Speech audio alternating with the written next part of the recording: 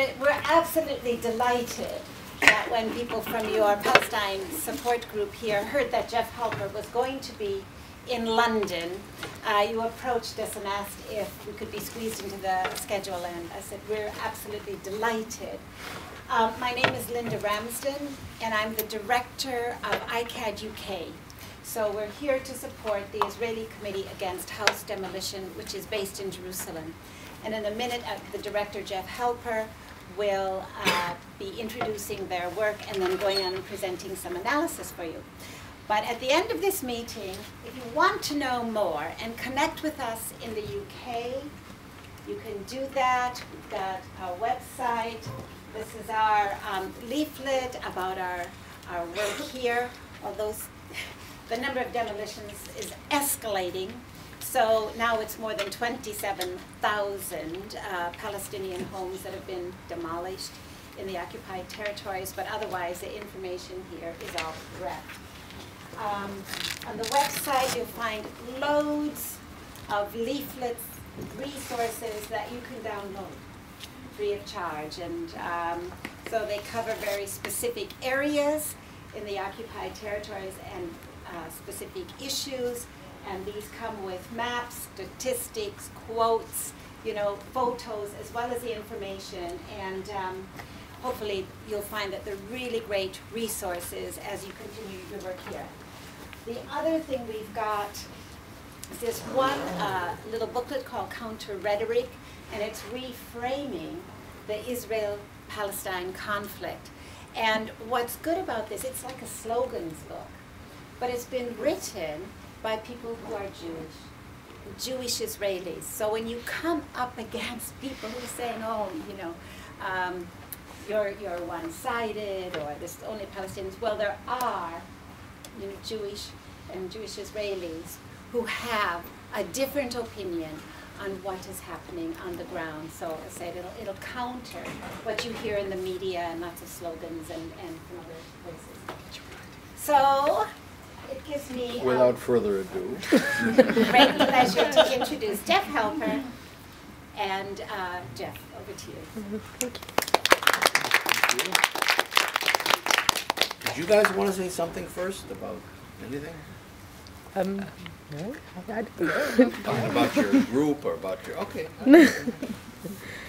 well, yeah, I'm Jeff Halper, as you know. Um, I'm the head of the Israeli Committee Against House Demolitions. And we're an Israeli peace and human rights organization. We've been in existence for like 15 years now. That's dedicated to ending the occupation completely and totally. Um, and to achieving a just peace between Israelis and Palestinians. And we'll talk a little bit later about what that means. Um, but we take the issue of house demolitions as our focus because um, on the one level it, it humanizes the occupation. It's not just occupation in some abstract political sense, sense but you know there's human stories, human tragedies, human uh, suffering going on, and that's that's an important uh, thing. Also, when we go out to resist demolitions of houses or to rebuild homes, which we do, um, it's a very important uh, source of solidarity between us as Israeli Jews and Palestinians. Um, but on another level, it also really helps us to explain to people how the occupation works uh, and what Israel's intentions are. And you know, I'm an anthropologist by profession. There's a few anthropology students here in the audience. Um, and anthropologists approach the world from the ground up. And what we're trained to do is to read the landscape, to try to understand. Well, it, I'll just tell you something cute. The, I think the essential question of anthropology is the essential question of life. How is that? I should write some philosophical book or something. And that is really what anthropologists ask is what in the hell is going on here? And the hell part is important. That's the critical part. Because journalists come in and they say, what's going on here? And they come in for a day or two and they talk to this person, that person, they write, you know, or a lot of people do that. The hell part is what in the hell is going on here is what's going on really between the lines you know, the people that are suffering know a piece of it, but they don't know what it, you know, your house is demolished, you're a Palestinian, you don't know why, what the Israeli political intentions are or whatever.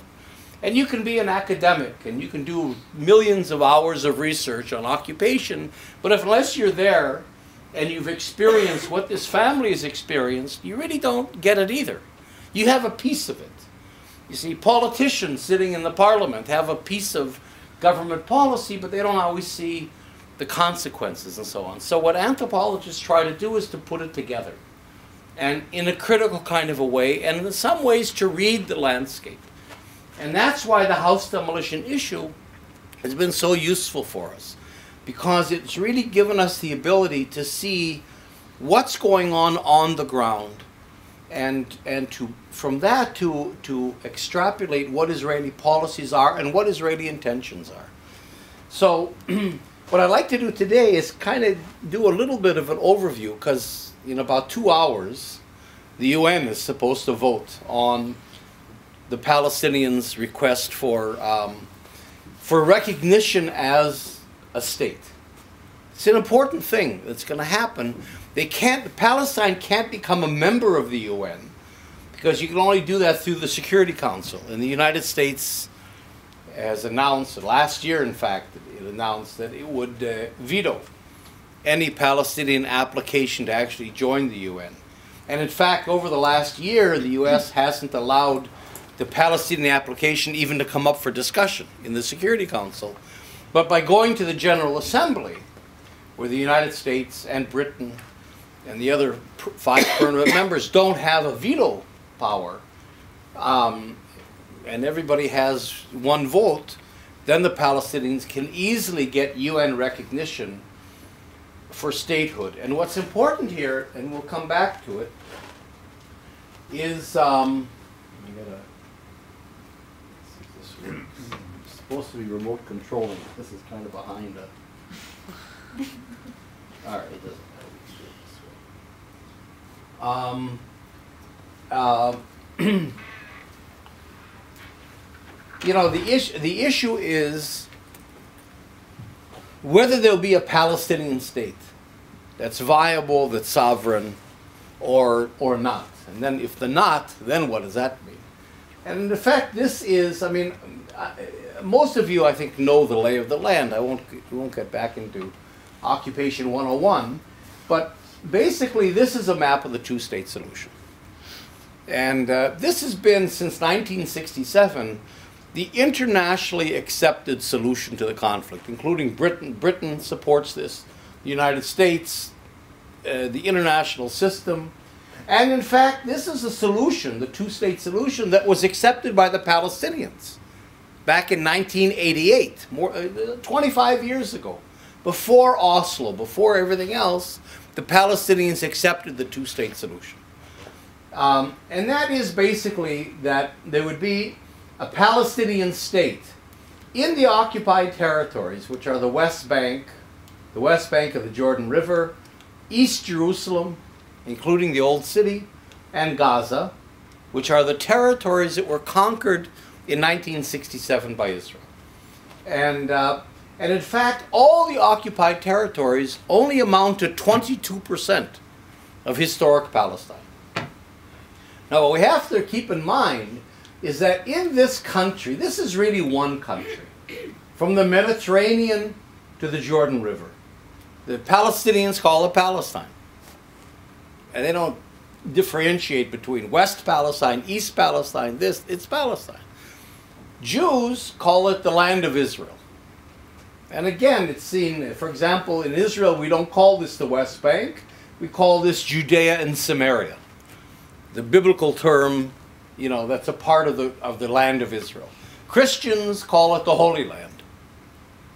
Whatever you call it, it's really one unit. All these internal borders are recent and, and don't mean anything. So that in this one country today, the Palestinians are half the population. They're half the population today. And there's another four and a half to five million refugees that live around the country in Lebanon, Syria, and Jordan that claim the right to return to their homeland.